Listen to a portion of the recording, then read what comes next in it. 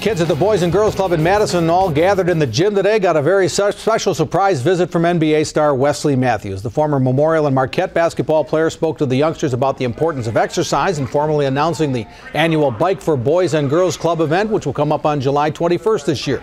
That's a 25 mile ride around the city and Trek Bicycle Stores of Madison, helping Wesley prepare for the ride. The goal is to raise money and awareness for the club.